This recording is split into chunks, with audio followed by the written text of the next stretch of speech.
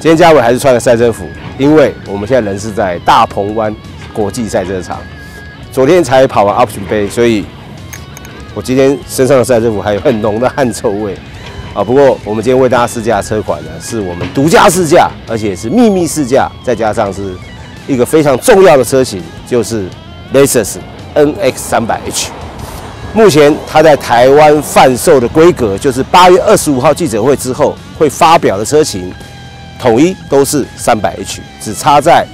F Sport 和一般版本。一般版本有三个等级，F Sport 有两个等级，另外 AWD F Sport 版本有一个等级，所以也代表 F Sport 版本有两个等级，一个有 AWD。好了，我们现在手上拿到的这台就是 F Sport，也是我们今天为大家试驾的重点。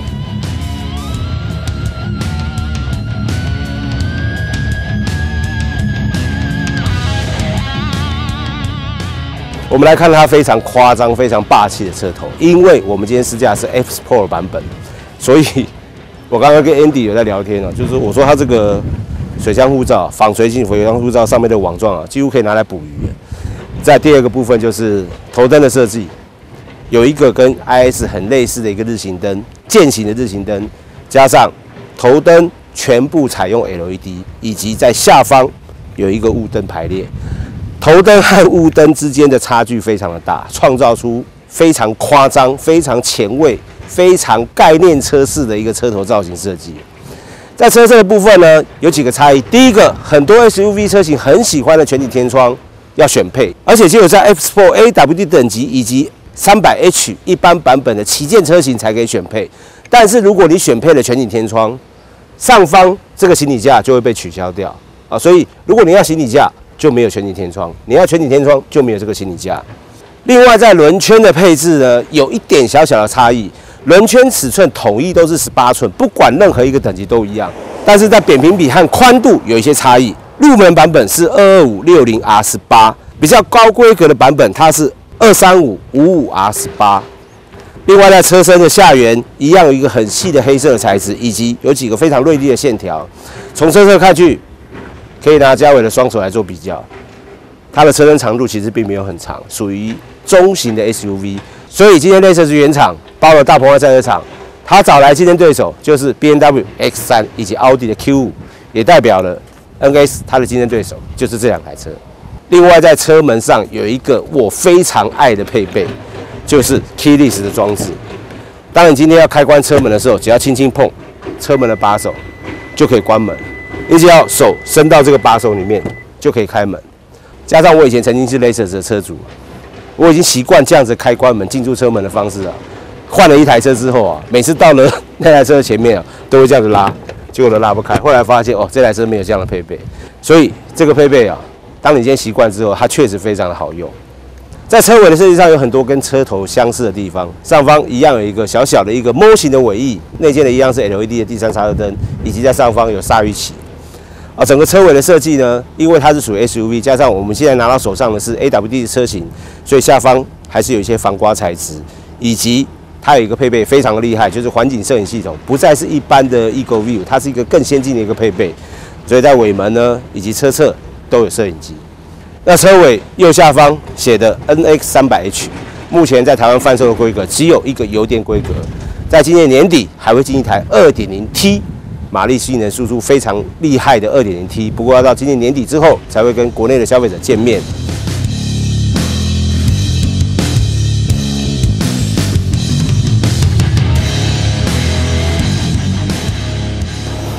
我说这个真的很像，很像捕鱼的。好，接着我们打开它的引擎盖，油压定杆、隔热棉都没有被偷掉。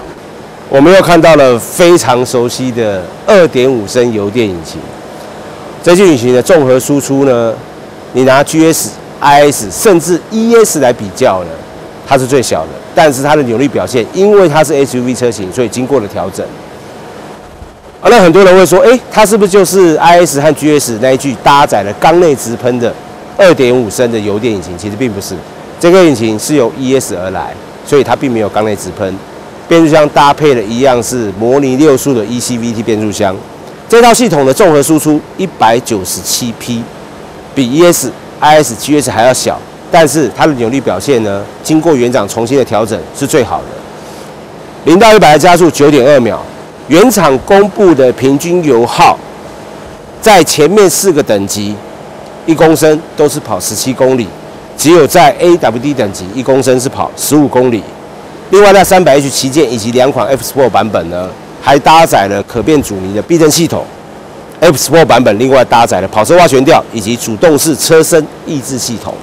全车系前后悬吊都是标准的前麦花臣后双 A 背独立悬吊。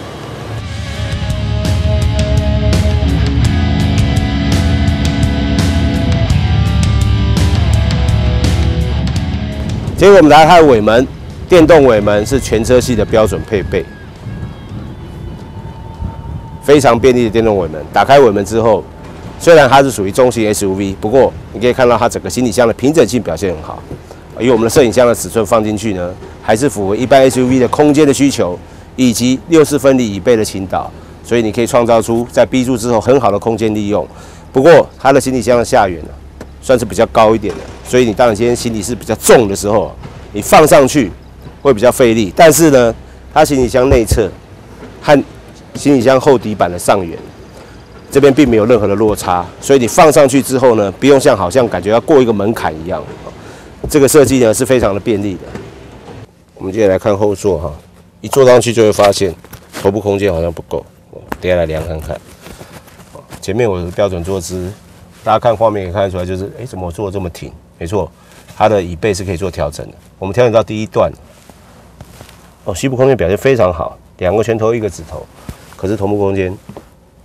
还好，这边有一点小小的凹槽设计，不过大概也只剩下大概三个指头。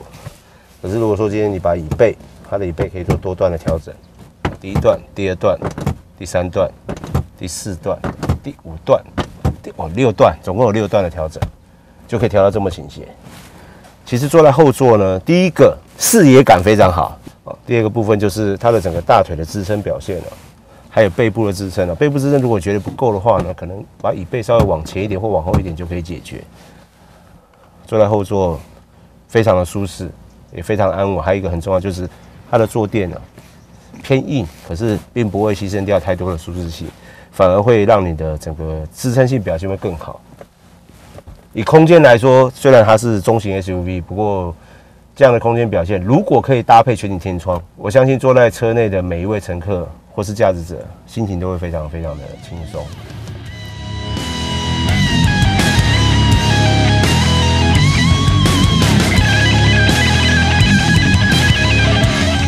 接着在内装配备上啊，我每次试驾 Lexus 都会有一些惊喜。为什么？因为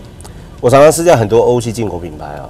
你在大型车改款之后，你看到小型车，它顶多把一些配备，荧幕变比较小，然后变中型房车。那台小型车呢，荧幕取消，然后配备变得更少，哦，这些按键呢都几乎都一模一样，然后变成小型车。如果是微型车呢，可能按键的材质都改变。这个是很多欧系进口车啊，他们在操作上为了节省成本，所以你会看到很多太多类似的地方。可是，在我们今天试驾的 NX 三百 H，你会看到很多新的元素在里面。它不是什么车系的替代品，或是什么车系的小一号的产品，它是一个全新的车型。首先在主被动安全、主动安全循迹系统，而且它的 traction control 是两段式的。因为今天在大鹏湾，所以我很深刻的体验到它的两段式 traction control 的差异，差异非常非常的大。待会来跟大家分享。第二个部分就是被动安全八 G 气囊，在中控台上方有一个七寸的荧幕，这个七寸荧幕在全车系都是标准配备，但是内建的一项东西，中文化的卫星导航，除了最入门的版本没有之外。另外四个版本也是标准配备，下方有双区恒温空调以及音响系统。音响系统下方这边有个盖子，这个盖子啊是 SD 卡的插槽。这个插槽里面呢，它在下面写个 Map，就是代表它这一套的中文化卫星导航是靠 SD 卡读取的。今天如果你把它取消掉的话，把它拔出来，上面就会显示无法读取地图。比较重要重点就是在排挡杆附近这边呢，有很多改变。第一个排挡杆。还好不是 ES 那个非常丑的排挡杆啊，它搭配的变速箱是六速的 ECVT 变速箱，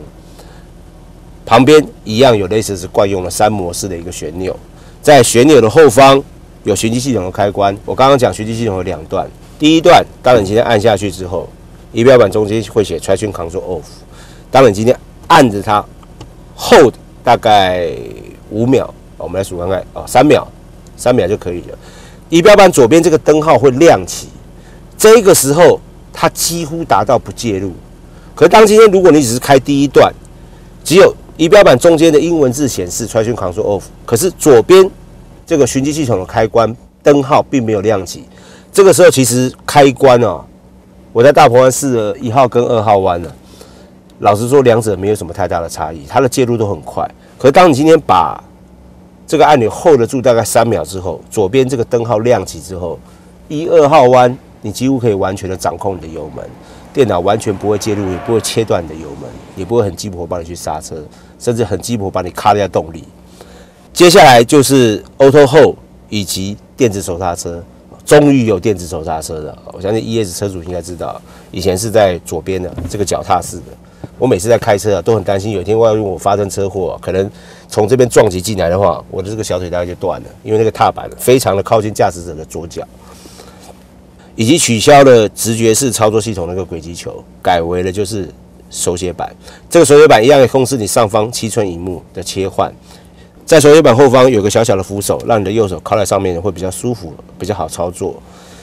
还有一个东西是我这次见到比较可爱，就是它是一个小小的饰板。这饰板可以拿起来，拿起来可以干嘛呢？如果是女性，就可以这样画口红，就这样，就只有这个功能。但是里面还有一个小小的置物空间。园长说这大家可以放一只手机。在旁边有两个自杯架，比较重要重点还有一个。当你今天把中央扶手后面这个盖子打开，你可以看到这边有一个传统的电源供应，以及旁边 AUX 以及两个 USB，还有一个就是这边有个 QI，这代表什么？当你今天手机支援的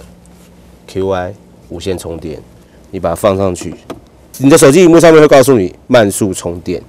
啊，代表你手机没有电呢，不用再去找 USB 去插你的手机，你只要这样给它靠上去之后呢，它就会进行充电。但是它这个手机做的框呢，像我这只手机是五点五寸的，大概已经是极限了所以你的手机如果再大一点的话，你会放不进去，放不进去就没有办法接触到这个 QI 充电的面板。仪表板采用双圆式的设计，这个和其他类似的设计就非常的类似了啊。中间一样有个资讯幕，当然它可以显示所有的 Hybrid 系统的一个运作的方式啦，包括能源效率啦，行车电脑都会在这边做显示。方向盘三幅式的设计，因为我们今天是在赛车场，所以因为我是戴了赛车手套。戴了赛车手套之后呢，你再去握这个方向盘，它几乎达到竞技水准的一个握感表现。我曾经有跟大家讲过，所有的驾驶者最好可以准备一双手套，不用赛车手套，一般手套，摩擦系数比较高的啊，比较好，指滑效果比较好的。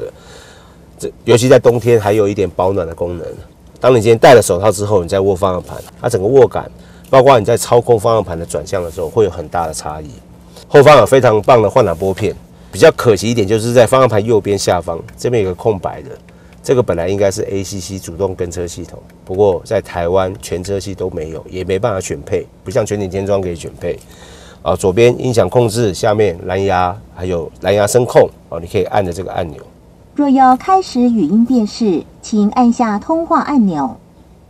它会告诉你，如果你的手机跟蓝牙系统配对了。你就可以用它的电话簿，而且直接可以用语音的方式呢拨打电话。大灯、雨刷都有自动启闭。另外，在方向盘的右下方这边还是有一个传统类似式的定速按钮。在方向盘的左边这边有几个按键，一个是全车的侦测雷达，中间车侧盲点系统。这一次的车侧盲点系统并没有被取消。在右边有一个电动尾门开启和关闭的按钮。以及下方这个按钮就是我们刚刚讲全景的模式。当你今天按下这个按钮之后，这个七寸荧幕它会先直接秀一个三百六十五度，车子会绕圈圈，告诉你你现在车子的四周有没有障碍物。啊，那很多人会说，NX 它的底盘其实跟 Toyota RAV4 是共用，但是原厂特别强调，有大概超过百分之八十的零组件呢是做了改变和强化的。第二个部分就是配备。现在网络资讯非常的发达，其实大家去搜寻北美哦试售车款它的配件的时候，你会发现，第一个抬头显示器没来，第二个它有车侧盲点，可是车道偏移也没来。还有一个很重要，ACC 的跟车也没来，所以在方向盘右面下面的按钮是空白的。啊，那这些东西我是觉得在顶级车款应该要来，因为可以让消费者有多元的选择。呃，你可以不要车道偏移，不要车侧盲点，不要跟车，也不要抬头显示器，那你可以买比较便宜的 NX。可是如果说今天你买的是比较贵的，那我觉得这些配备应该要一次补足。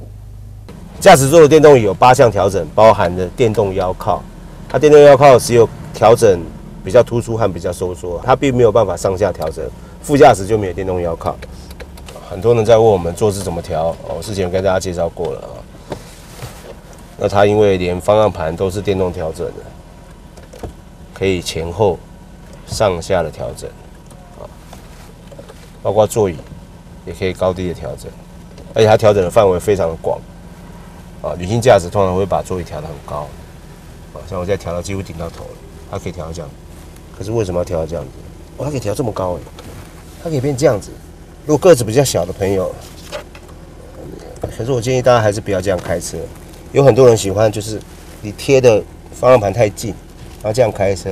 这样开车啊，和正常坐开车，其实你看到视野是差不多，可是心理心理层面又不一样。有些人觉得这样开车呢，我的路会看得比较清楚一点，甚至我前方的障碍物也会看得比较清楚一点。其实差异并没有很大，你还是调整一个标准的正常的坐姿。一方面，你的气囊可以完整的保护你，如果你发生撞击的话。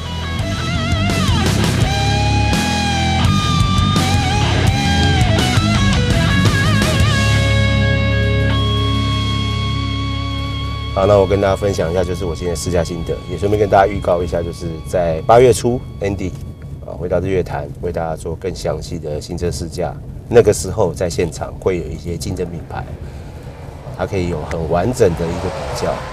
如果你对这台车很有兴趣，我们会连续出两支 NX 三百 H 的试驾影片，一支是今天的大鹏湾，一个就是八月初的日月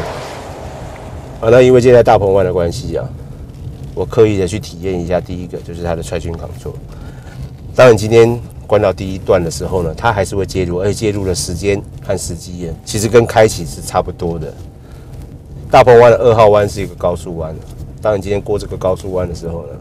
甚至到现在的三号弯了，你只要一进去，它一发现不对的时候，轮胎开始打滑，就介入，就切断油门。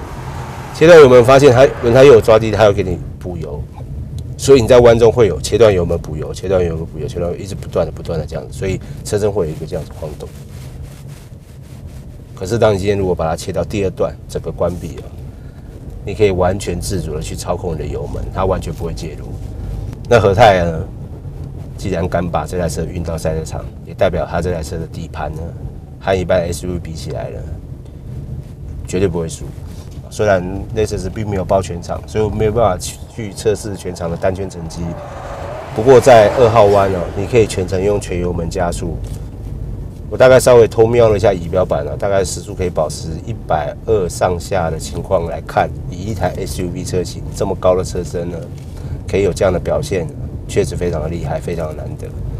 那因为这台车是 AWD 车型，所以。当你今天给它动力的时候，在弯中你会发现，就是它四个轮子呢，确实是各司其职的，很听话的。不管是在抓地力、循迹性，还有操控特性上，都会有很大的帮助。那方向盘辅助的力道呢？如果你把它拨到 ECU 模式的时候，它的辅助力道和 Sport 模式两者比起来，其实它的辅助力道是差不多的。比较大的差异就是，当你今天高速过弯的时候，它的反向的阻力会比较大。反向阻力比较大，也代表就是这个时候轮胎和地面已经发生了非常严重的一个抗衡，会有很大的轮胎的声音。那这个时候方向盘的阻力就会变大，加上它的可变阻力避震器，让车身的侧倾可以保持一个很好的水平。但是你在开起来的时候，你会很有信心的，就是第一次八十过这个弯，你觉得哎，这台车。还有更多的空间可以再快。第二次一百，第三次一百二，甚至到第四次，你完全不用刹车的过很好玩的啊！所以也代表这台车的底盘的功力确实非常的棒。当然，会买这种车的人不可能来赛车场竞速。可是，如果一台车可以通过赛道的考验，在一般马路上驾驶，不管是迷路测试、闪躲前方的故障车辆，甚至包括重踩刹车、转动方向盘，在这几个部分呢，你都可以很轻松的去操控车辆的转向、指向还有方向性。这个其实也是安全性的一种。有的车型啊，你一踩刹车、重踩，你这个时候要去转方向盘，像一号和二号弯几乎是一个连续弯道，你的二号弯过了就会很难过，甚至你的车会往外飞、往外飘。可是，在 NS 上面呢，你完全不会发现有这样的问题。那这台车其实，在外形它有一个全新的设计，引擎虽然是沿用 ES，不过它做了重新的调整，扭力表现比较好。内装的空间表现，还有配备，以及多了更多更人性化的一些设计，不管是触控面板、哦电子手刹车、Auto Hold 功能，甚至包括后方有个 QI 的充电面板。这些种种呢，都是在别的车型上看不到的，所以 NX 并不是一个其他车型移植过来啊，完整移植过来的一个全新车型，而是重新设计的一个全新车型。我们现在就看八月二十五号总代理在记者发表会公布的售价。如果它的售价开得漂亮，我相信这台车啊，大概过几个月之后啊，又是满街都是啊，就像现在满街都是的 ES、IS 一样。NX 我相信会是下一台 Lexus 在台湾热卖的车型。